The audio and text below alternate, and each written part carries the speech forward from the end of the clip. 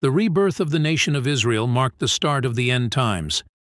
Israel ceased to exist as a nation in 70 AD when the Romans sieged Jerusalem, and all who had survived were scattered among the nations.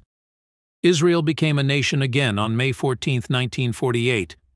God said in Joel 3 verses 1 through 2, For behold, in those days and at that time, when I bring back the captives of Judah and Jerusalem, I will also gather all nations, and bring them down to the valley of Jehoshaphat.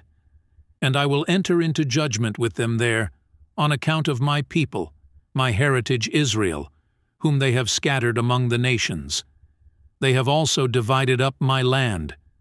These verses clearly say that when Israel becomes a nation again, and in that same period God will also judge the nations, and this will take place in the Battle of Armageddon.